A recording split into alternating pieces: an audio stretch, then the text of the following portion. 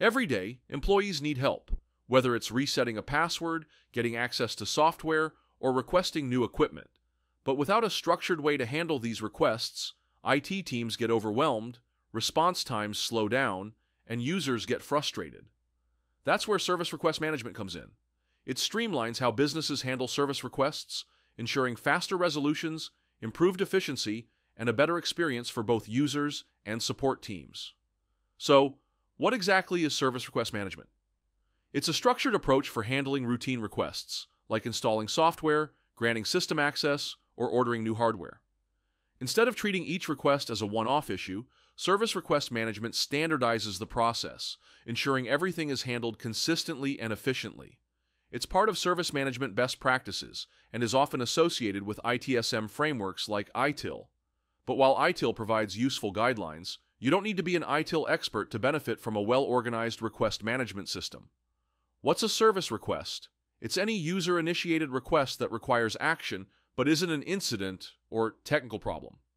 Some common examples include access requests, requesting permission for software, shared drives, or VPN access, hardware requests, ordering a new laptop, monitor, or peripherals, software installation, requesting new applications or upgrades, report requests, generating data reports for business insights, training requests, signing up for workshops or IT training.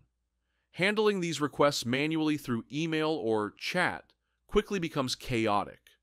But with a proper service request management process, everything runs smoothly. A well structured system provides several key benefits. 1. A more organized workplace.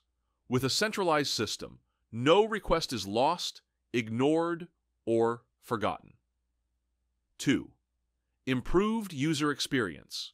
Employees and customers can easily submit and track their requests, reducing frustration. 3. Greater transparency. Users and IT teams can monitor progress in real time, creating accountability. 4. Consistency in handling requests. Standardized workflows ensure requests are resolved the same way every time. Now, let's walk through the service request management process. Step 1 Request, Capture, and Logging. A user submits a request via a self service portal, email, or phone. The system records it, capturing all key details. Step 2 Categorization and Prioritization. Requests are automatically categorized hardware, software access, etc., and priority is assigned based on urgency and impact. Step 3 Authorization, if needed.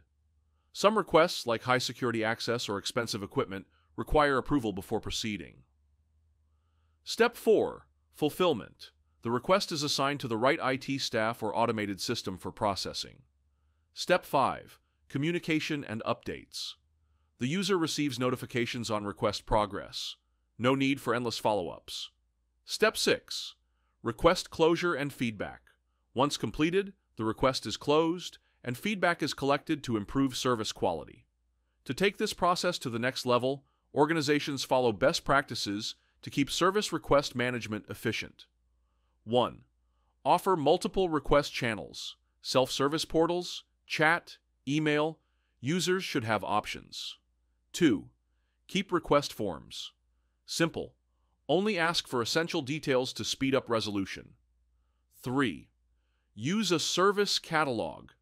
List available services and make request submission easy. 4. Automate routine requests. Reduce manual work by setting up approval workflows and ticket routing. 5. Encourage self service and knowledge base use. Let users solve simple issues on their own. Sixth, track and measure performance. Use analytics to monitor response times and improve efficiency. Service request management isn't just about efficiency, it's about making life easier for both employees and IT teams. By implementing a structured approach, organizations can reduce delays, improve transparency, and create a seamless support experience. Do you have any thoughts on this topic you'd like to share? Leave them in the comments below. And don't forget to like the video and follow InvGate Academy for more insights into the world of service management.